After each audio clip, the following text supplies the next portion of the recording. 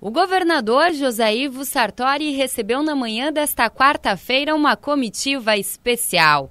A visita do prefeito e dos vereadores mirins do município de Dona Francisca. O prefeito Carlos Eduardo tem apenas 10 anos. A nossa cidade de Dona Francisca é um pouco mais de 3 mil habitantes, uma cidade pequena, com bastante, bastante pontos turísticos, muito legal também.